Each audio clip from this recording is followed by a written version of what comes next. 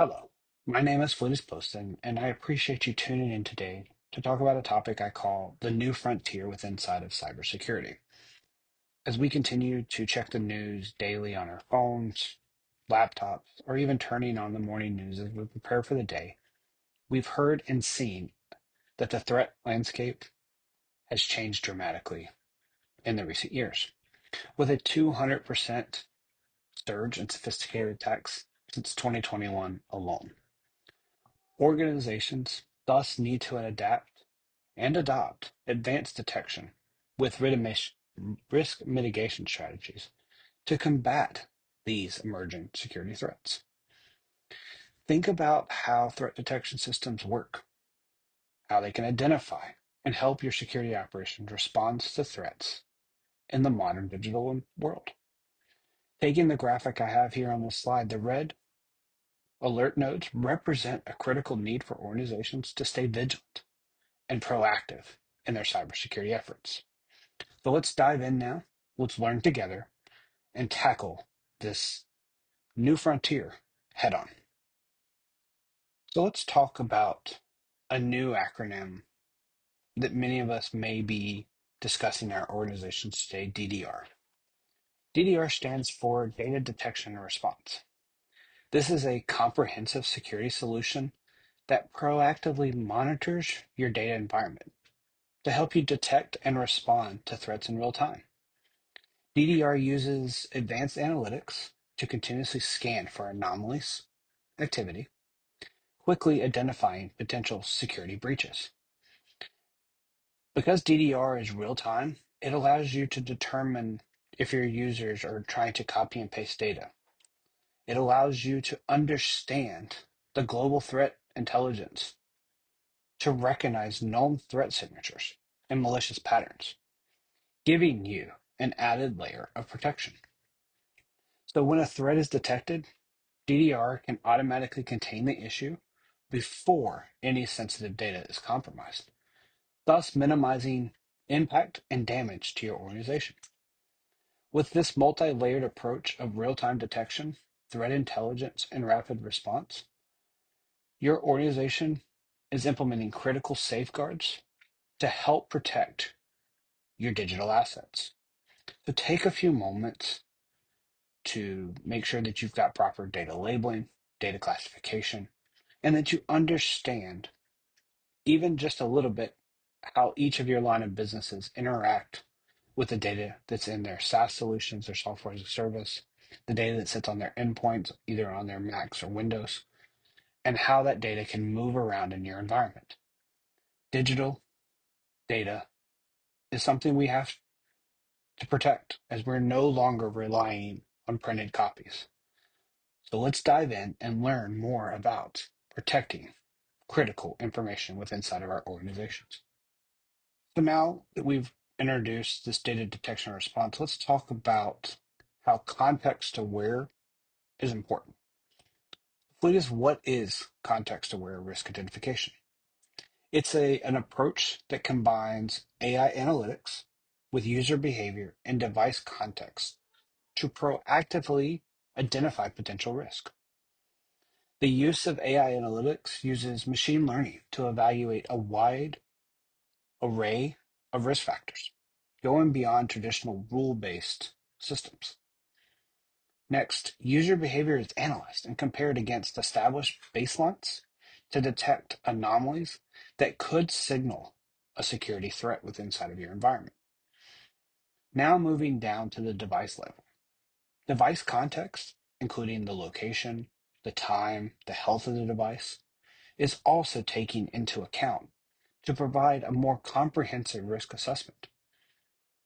So as organizations continue to integrate all the different variable systems in their environment, you can focus on these three key elements to help gain a deeper understanding of your respective risk landscape, thus allowing your security teams to respond more effectively to the evolving threats.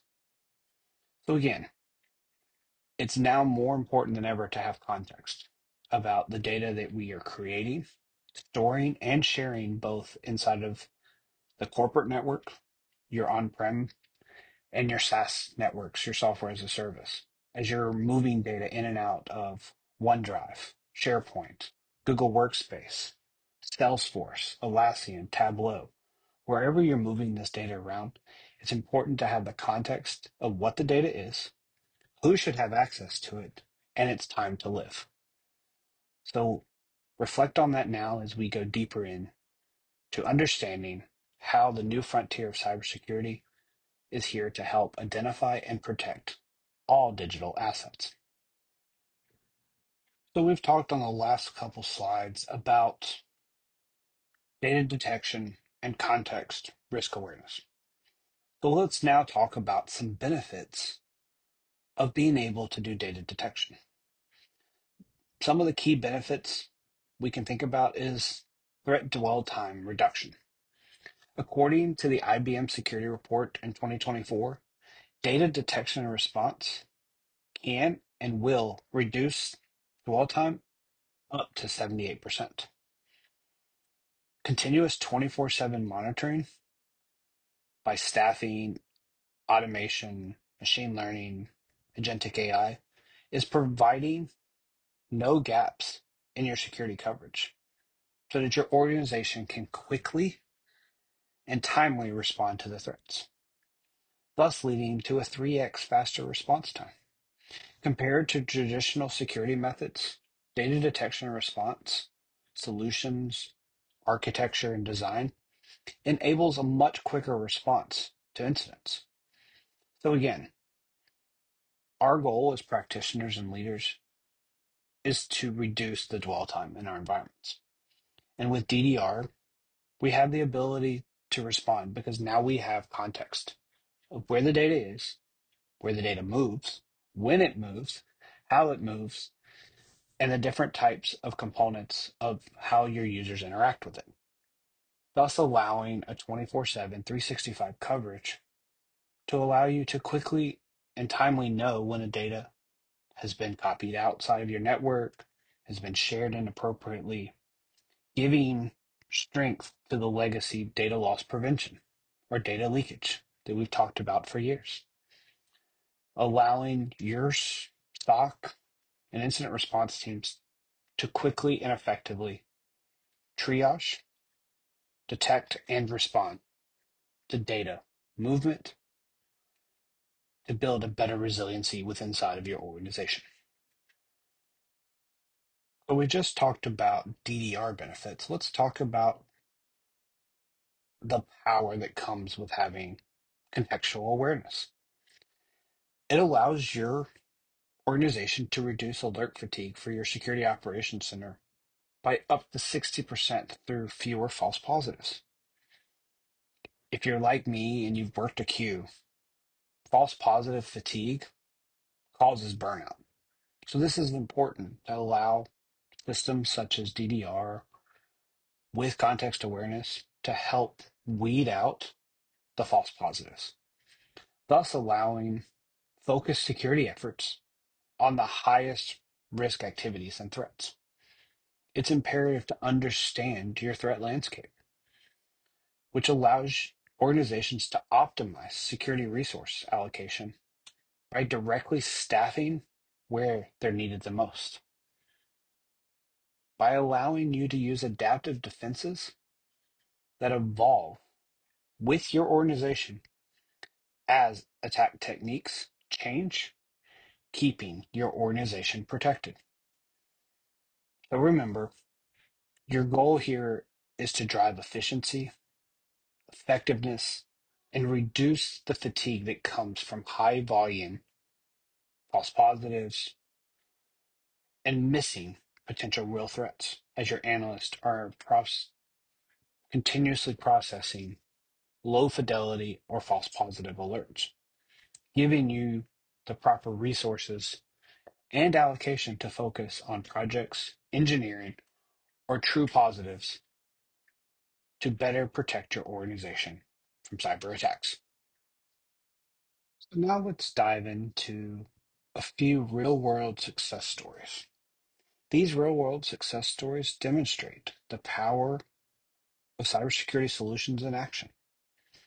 First, let's talk about a financial institute who was able to quickly stop a multi-million dollar phishing fraud attempt by detecting unusual data access patterns and automatically blocking the exfiltration.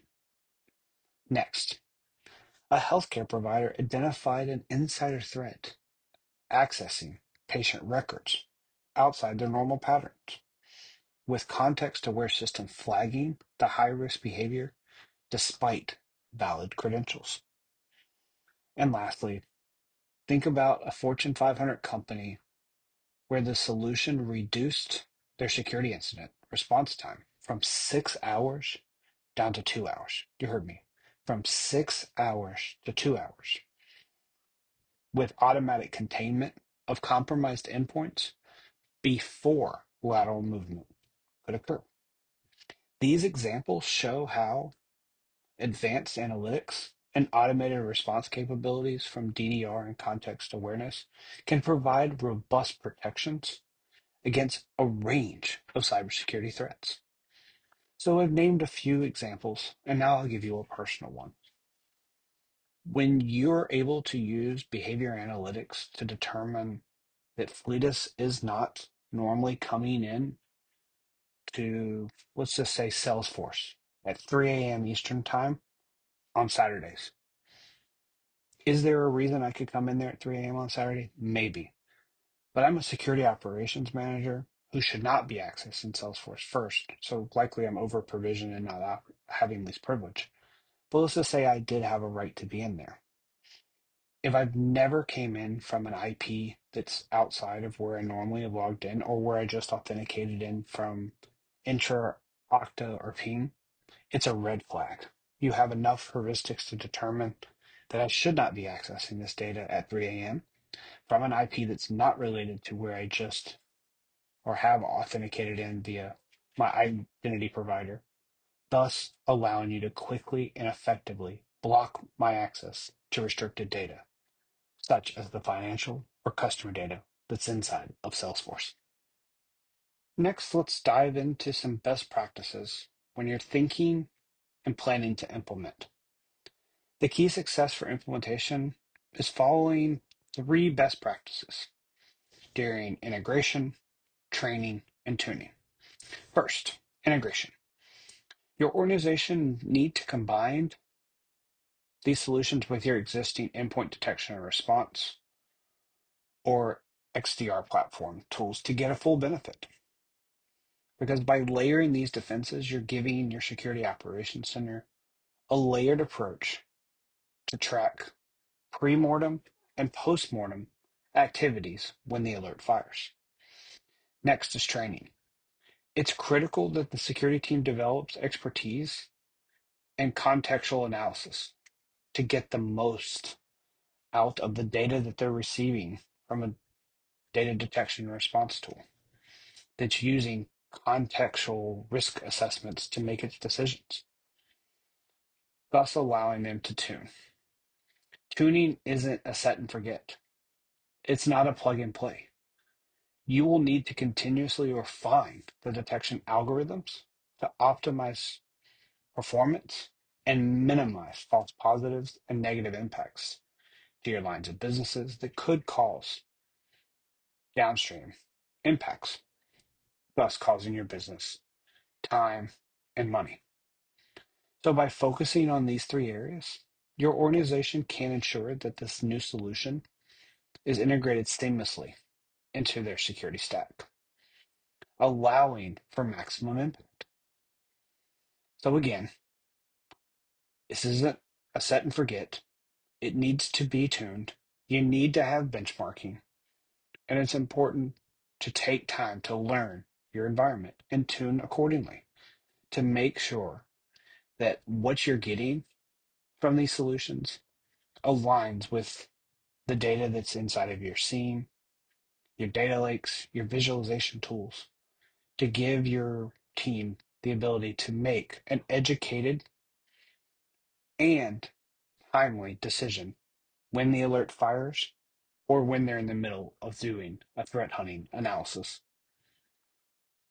So now let's wrap it all up with some key takeaways and a path forward.